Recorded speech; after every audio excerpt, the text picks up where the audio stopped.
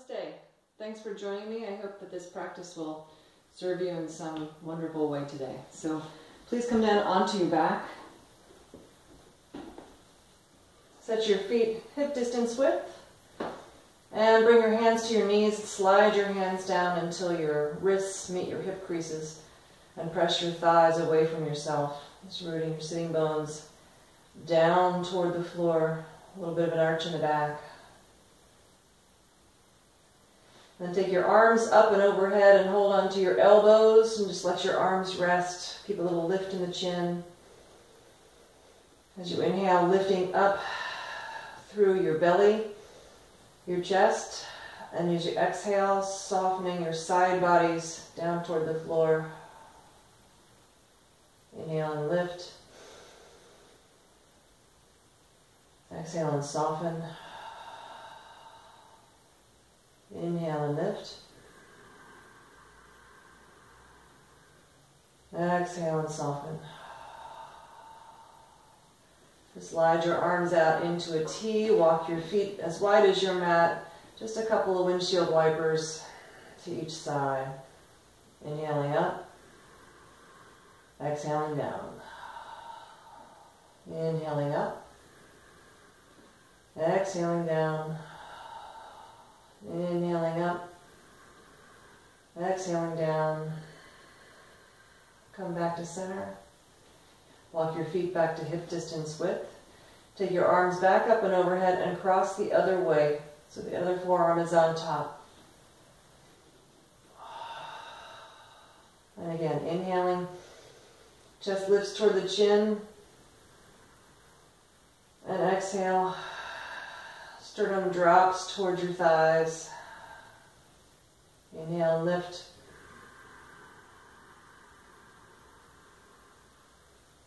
Exhale and release down. And come back to neutral. Take your arms back out into a T. I'm just going to work a little bit of rocking breath. So focusing movement in the lumbar spine and the belly. So your inhale, just focusing on the low belly now. Inhale, lifts the belly. Exhale, roots the belly toward the floor. Inhale, lift. Arching the back. Exhale. Tailbone roots toward the heels and come back to neutral. Great, so crossing your right ankle over your left knee. Spread your toes, hug your thigh in towards yourself, eye of the needle.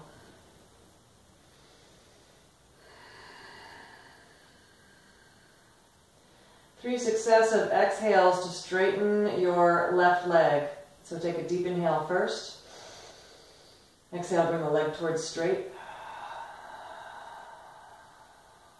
Inhale, bend. Exhale, straighten. Inhale, bend. Exhale, straighten. So just do this to whatever extent works for you. Don't try to force your leg to straighten here. And then once you're there, a couple of circles. Bend the knee again, take your arms out, set your foot down, drop your legs over to your left until your right foot comes to the floor, and then let your foot leave the floor, but root your right thigh away from yourself.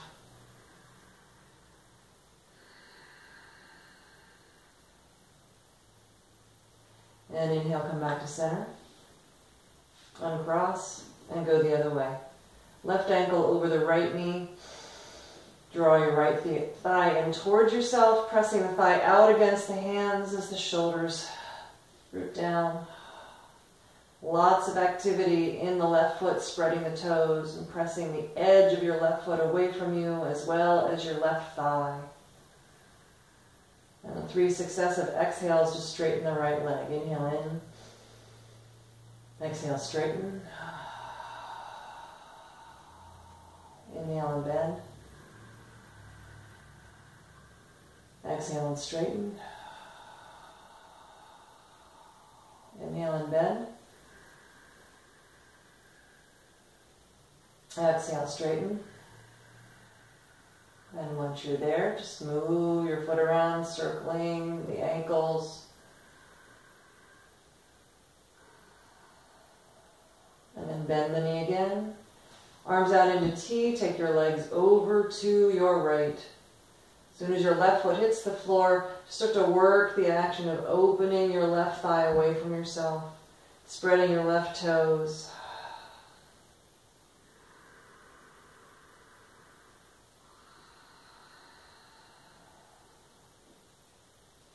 And inhale back to center. Uncross your legs, roll to your side, come up, and turn around, coming to table pose. Pressing into the hands. Inhale, lift your crown for cow. To seat. Exhale, round your back for cat. Inhale, lift the crown, lift the seat. Exhale, round.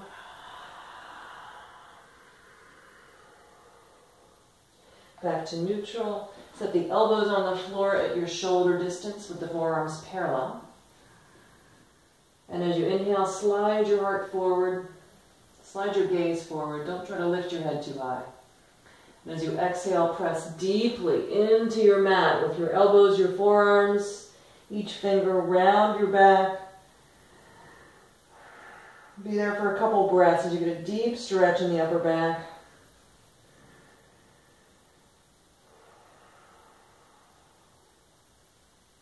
And then settle back down to neutral. Walk your hands back in towards yourself and let's find your first downward facing dog. Heart melts, moves forward, curl the toes under, lift the hips up and back, downward facing dog. So feel free to shift forward, forward and back over the ball of the foot, bending the knees.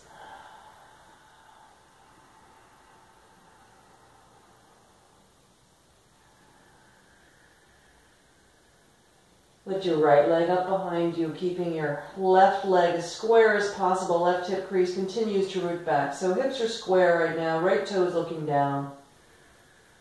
And then exhale, sweep your right foot forward, come into a lunge. Just hands in line with the ankle. Find the squareness in your hips. With the inseam of the back leg lifted as your heart slides forward a little. Plant the hands, step to plank. So in your plank, a little bit of rounding in the upper back as you press your hands down into the floor. Lift up through the inner thighs, root your tailbone back. Shift forward and lower down slow motion.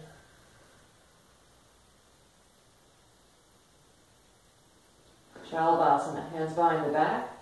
Point the toes, tailbone roots, shoulders reach forward and up. Reach the hands back, spread the toes.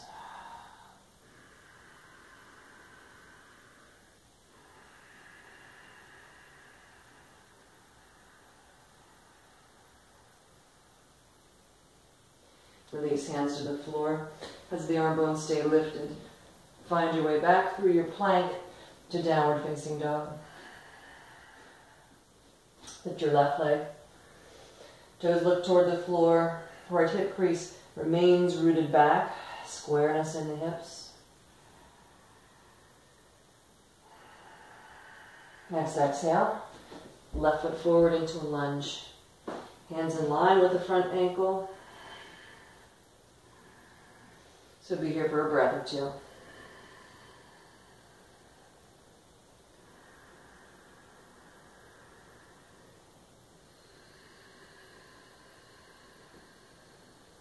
And then planting your hands, step to plank. A little bit of rounding in the upper back, a little bit of settling, and then rooting the heart forward a little bit. Hug the midline, find the strength in your belly as you shift forward just a bit. Lower down in slow motion. Hands stay alongside of the chest, toes point back, shoulders roll forward, come up. Low cobra.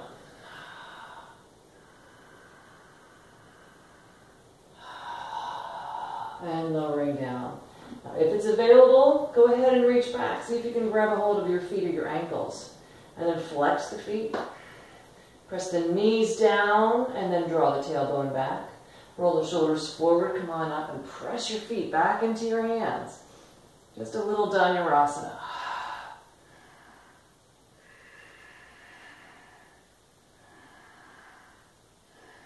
And release. Bring your hands back down, press to table. Widen your knees, sit back in child's. Elbows to the floor, hands in namaste. Drop your thumbs to the base of your neck with your forehead on the floor.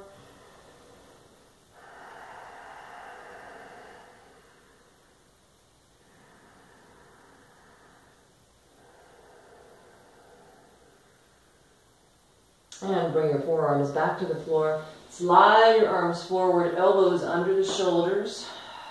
Move the heart down, curl the toes under, dolphin pose. Press your forearms down and forward. Lift the hips up, maybe the feet walk in towards your head a little bit.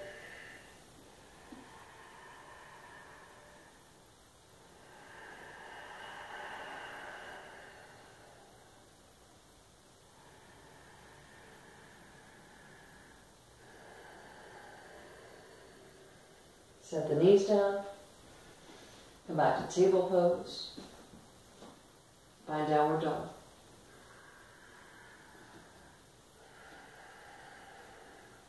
So lift your right leg up behind you, but don't let your eyes leave your left leg. So left hip crease roots back, left knee remains steadfastly looking forward over the middle of the foot. Then the right knee bends, the right hip opens, the left leg tries not to go anywhere. Left hip roots back, and the right hip opens out of the stability in the left leg and hip. Arms totally strong. Drop the right knee, bring it forward into a lunge. Slide your right hand to the inner edge of your right foot. Your back heel comes down, and you open up into this variation of side angle stretch. The top arm can slide back behind you. Roll the shoulder open. Maybe look up if you're feeling a little off balance, off center, ungrounded, look down. Re-extend, left arm up, bring it back to the floor, pick up your left heel, take your right arm up, twist to the right. Sitting a little more deeply in your pose. Take your top arm back behind you. Roll the shoulder back.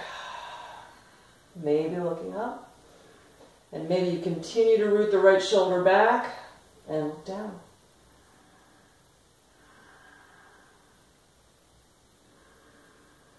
Extend the top arm, hand to the floor. Step to plank. Lower down.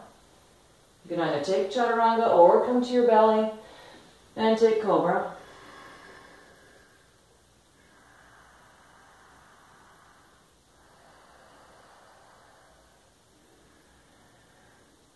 And finding your way back through plank, Adho Svanasana. Other side. Lifting the left leg, the right leg is the point of focus for you. So nice and stable. The right knee looks directly forward of the middle of the foot. The right hip crease roots back. So not this, but this. Then the left knee bends and the hip opens. And not this, but this, right? So we keep the hip crease back and then open. Open the left hip with such stability in the right leg. And the right hip. And then the left knee drops. Exhale it forward. Into your lunge. Left hand comes inside of the foot, right heel spins down. This variation of side angle. So reaching up. Maybe the top arm comes back behind you. Roll the shoulder back. Looking up, forward, or down, whatever your choice is, but continuing to keep an openness, working the opening of the shoulders. not to mention the hips.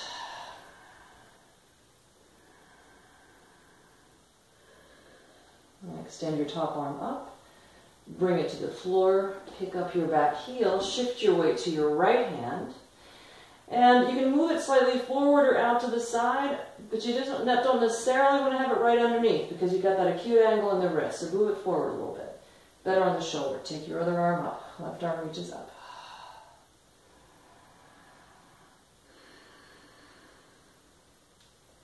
Left arm maybe reaches back behind you, slides toward the outer hip.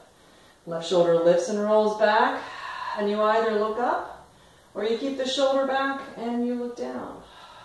Depends on what kind of day you're having. So if you need groundedness, look down.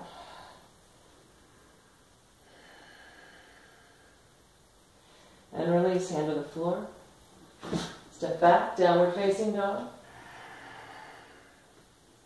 Up on the fingertips, look up at your hands, and then at the end of your exhale, see if you can lightly hop or step to the top of your mat, forward fold. Inhale, lengthen forward. Exhale and fold.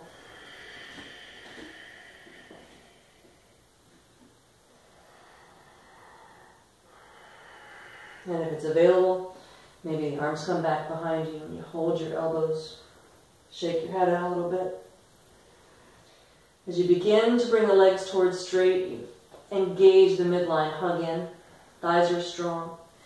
And then, like you're sending a taproot down into the earth from your tailbone, the buttocks flesh looks toward the floor.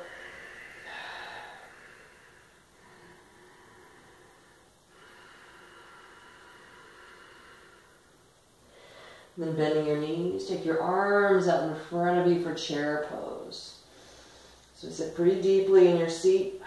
Hug the midline, root your tailbone down, and bring yourself upright, but feeling that sense of zipping up through the low belly.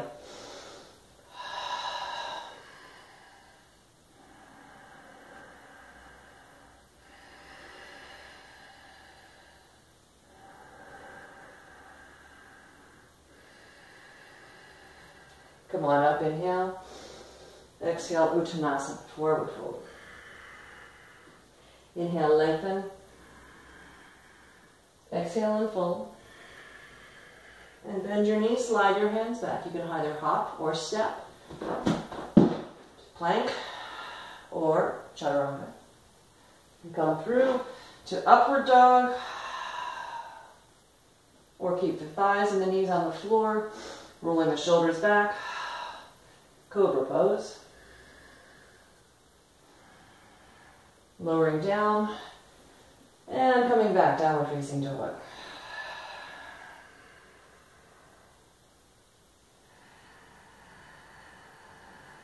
Lift your right leg up. Bend the knee, open the hip again. Steadfast left leg as you open. Exhale, sweep your right foot forward. Sit the back knee down. Now, if you'd like, you can bring a block onto the floor inside of your right foot and bring your elbows onto the block. So give yourself some height if you'd like. Resting on the forearms. It may be that the back knee needs to move back a little bit so you have a little bit more ability to get the hips closer to the floor.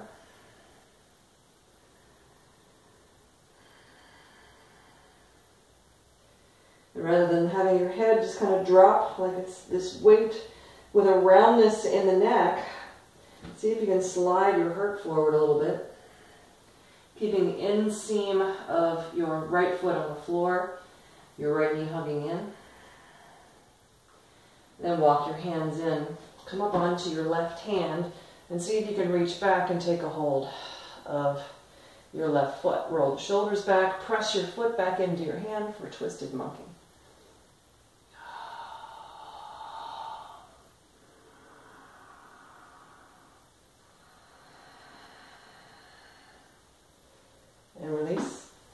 floor.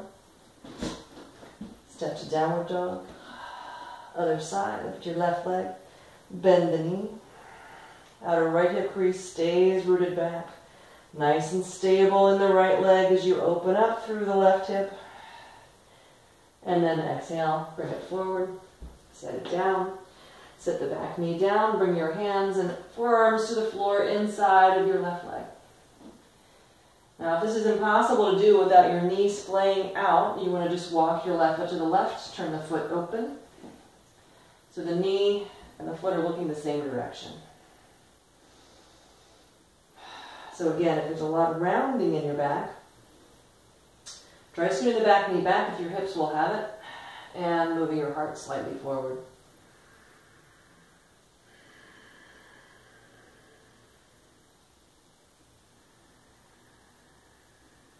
And then coming up onto your right hand, bend your right leg, turn the other way. Take a hold the foot or the ankle if you can, and roll the shoulders back while you press your foot back into the hand. So shoulders are rolling back and open.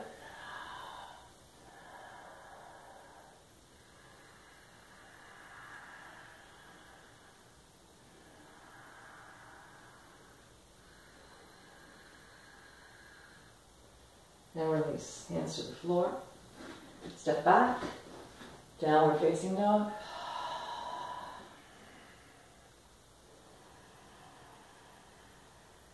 Going to have a seat. So, let's see, strap in here.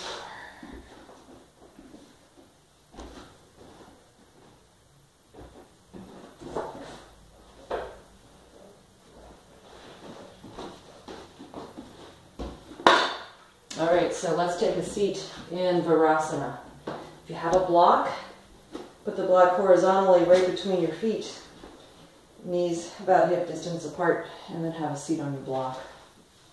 Then take your strap. And folding your strap in half, take your hands wide on your strap, bend the elbows, and drop the strap back behind your head. See if you can lift your heart, tip your elbows forward.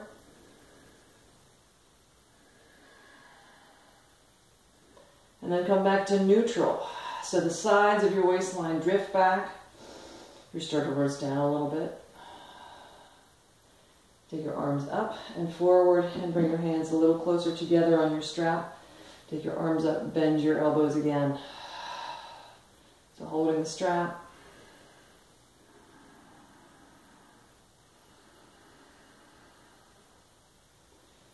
And go ahead and release your strap. To the side. All right, so we're going to come to Virasana again from the side, only without the walk underneath yourself. Hands can come to a clasp behind you and come toward rabbit pose. So lift up through the sides, roll your shoulders back. As you exhale, bring your body forward. Your chin comes a little bit in towards your knees. Roll the heads of the arm bones up. Lift your hips. Bring a little weight onto your head. But use the, the top of your shins and your feet to bear some of the weight. Heads of the arm bones stay lifted and maybe the hands lift a little bit. If you have issues in your neck, then this is a great one to avoid. And then sit back. Bring yourself up to a seat. Take your hands in front of you, press your arms forward. Heads the arm bones back, reach the arms up.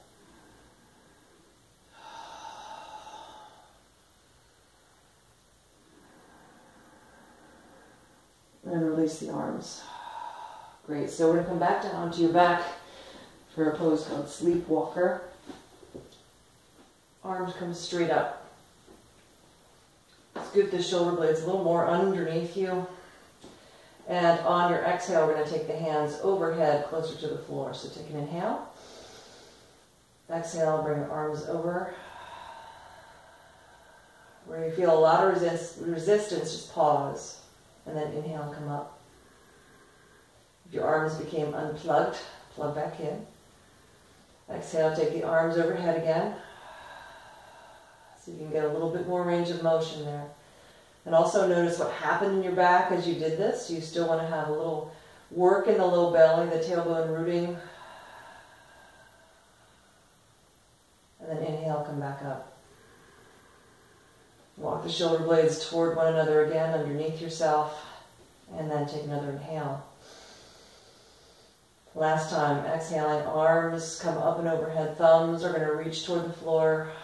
Yeah, so thumbs are at this point coming pretty close or they're touching. That was really, even for the first one, after the bit of shoulder opening we've done, this practice still was pretty challenging for the first one.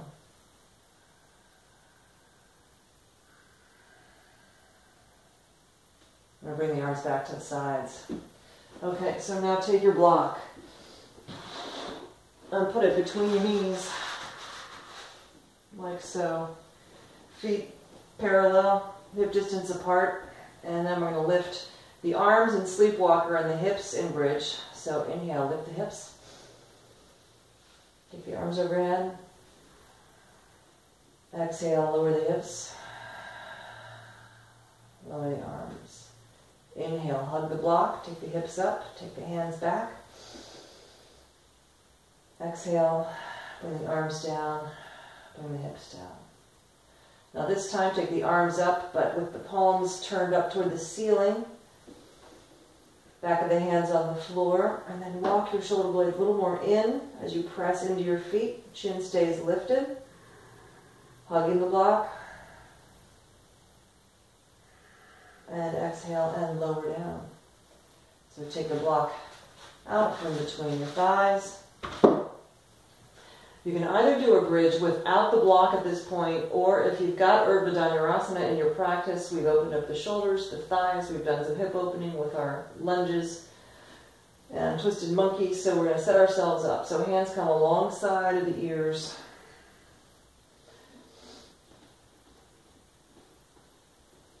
And then from here, I'm going to scoot heads of the arm bones down in the sockets and try to hug my elbows toward the midline pressing into my feet, lift my hips. And then I'm going to keep that lift, press into my hands and lift my head and set it back down.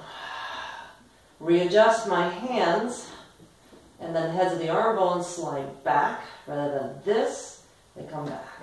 Heads of the arm bones back. I'm pressing into my feet, press into my hands, lift up. Shaking my head out, Oh, yeah. And just pumping my heart through my arms a little bit.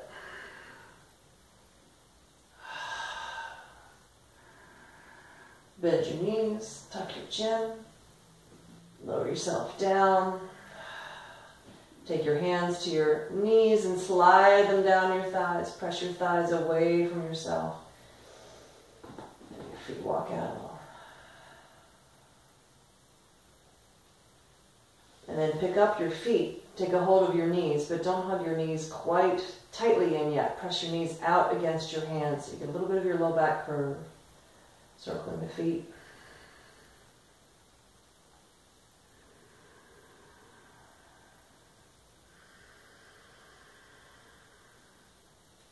Happy baby. Draw your knees in. Take a hold of the edges of your feet so feet are about parallel to the ceiling.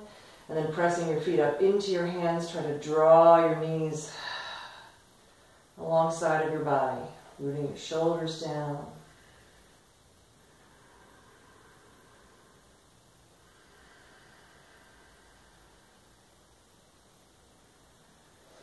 And then if it works for you, take a hold of your big toes, wrapping your middle and index fingers around your toes and take your legs out into a wide V for a nice Nice big inner thigh stretch.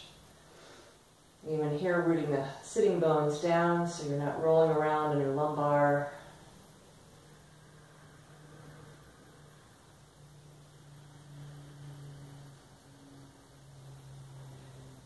And then bend your knees, bring the soles of your feet together, wrap your fingers around the edges of your feet for a supine Baddha Konasana. Heels coming close to the groins, knees root away from you.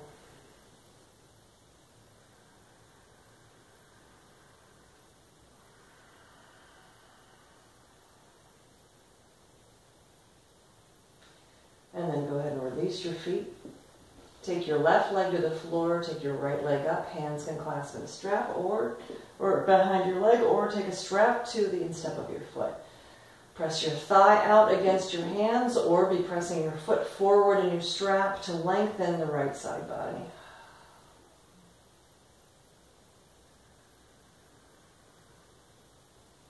And I'm going to take the right leg out to the right. So again, if you've got this, you can hold the toe and open the leg out. The bottom leg hugs the midline.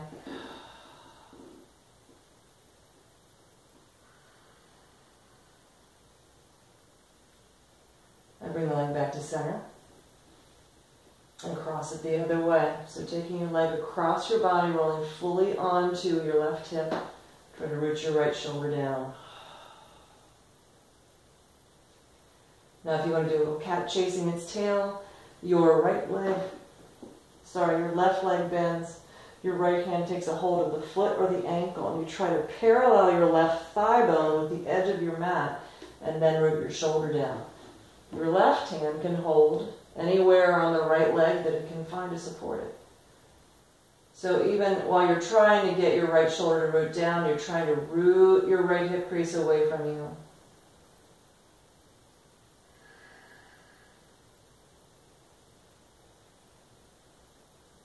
Then bend the knee. Bring yourself back to center. Square your pelvis back up. Take your right leg to the floor. Take your left leg up. Clasping the hands, press the thigh out against your hands. Shoulders root toward the floor underneath you. Squaring the hips as you press the leg out against the hands or your foot forward in strap. And again, as the leg opens, you can either hold the leg, of course you would hold the straps, or you hold your toe. Root down through your bottom leg big time. Nice Tadasana leg on the right, hugging the midline.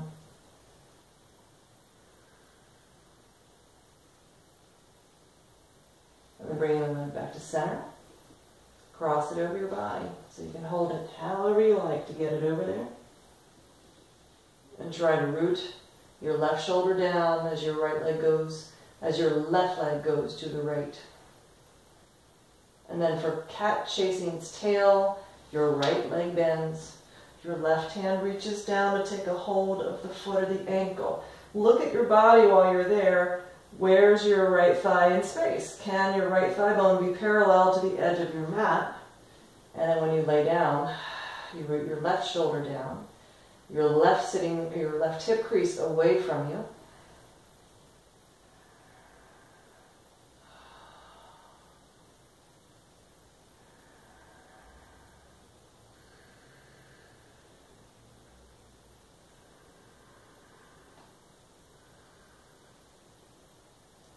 And then bending your knee, come on back to center. Lengthen your legs out on your mat. It's time for Shavasana. Just turn the palms up. Walk your shoulder blades underneath you. Make sure you have a bit of a lift in your chin. Feel free to throw a blanket over yourself, under your knees, if there's any discomfort or just residual stuff in your low back.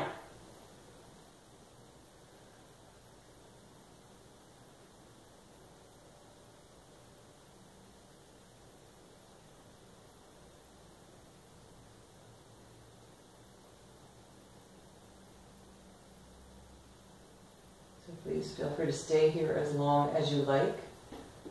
When you're finished, bend your knees and come to your side.